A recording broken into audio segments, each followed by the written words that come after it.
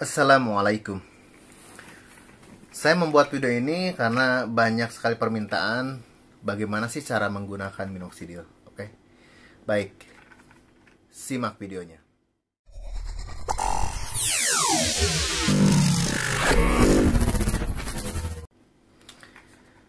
Cara menggunakan minoxidil ini ada banyak cara ya. Mau pakai pipet bisa mau pakai tangan juga bisa dan ada juga pakai spray ya pakai spray gitu. Nah untuk pipet ini ada dua macam. Ada yang pipet original dari minoxidil keklannya ya yang juga bisa menjadi tutup botol ini ya. Sama persis dengan tutup botol yang bawanya. Nah tinggal disimpan sini aja. Tuh ya. Anti tumpah juga. Nah, yang kedua pipet yang memang dijual di apotek-apotek ya di pasaran yaitu pipet plastik. Nah, tinggal dimasukin aja.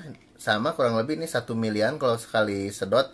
Cuma ya memang kalau pipet plastik ini dia rentan bocor ya karena dia sering digini-gini kan, sering ditekan-tekan akhirnya bocor dan sedotannya kurang optimal. Nah, kalau yang lewat tangan ya bisa langsung ke sini aja cuma emang agak ribet kalau ke tangan ya paling ke sini. tumpah. Ke sini tumpah dan mau bajir kan ini karena lumayan kan harganya gini-gini gitu ya.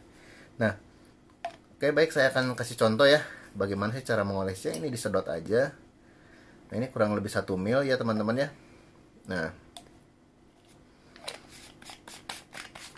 Ini hari ini memang saya belum mengoles. Nah ini baiknya kita mengolesnya ketika wajah bersih. Jadi saya habis cuci wajah dulu. Ya, cuci rambut juga. Ya pakai air biasa aja. Bismillah dulu. Nah, tinggal di oles-olesin aja teman-teman. Hmm, terus dipijat-pijat ya, dipijat-pijat. Kalian tentu udah jago mijat ya. Mijat itu simpel banget sih ya. Nah, kemudian ini Nah, makanya saya ini ada banyak rambutnya dulu nggak nggak ada sama sekali di sini bulu dari lahir juga nggak ada bulunya di sini nggak ada rambutnya. nah ini juga insya Allah ya. Nah jenggot ini juga kenapa sampai lebat ini ya? Karena saya siram terus dengan minoxidil every single day sehari dua kali. Nah gini. Nah ini barangkali kalian di sini udah ada botak-botak gitu ya. Silakan ini cukup simpel aja ya. Insya Allah ini dengan melakukan ini dengan rutin secara rajin sehari dua kali rambut kalian yang rontok ini akan tumbuh kembali. Ya. Halis juga barangkali ya kalau halisnya agak kurang. Nah, ini kumis kalau mau teman saya nggak nggak pakai kumis ya jadi. Ini kelihatan kayak minyak ya padahal dia ini nggak lengket kok ditekan-tekan aja ya biar masuk teman-teman ya. Ya. Tekan-tekan. Dah gini aja. Baiknya ini kalian jangan tidur dulu ya. Jangan tidur dulu. Karena kalau tidur ya percuma nanti nempel ke bantal.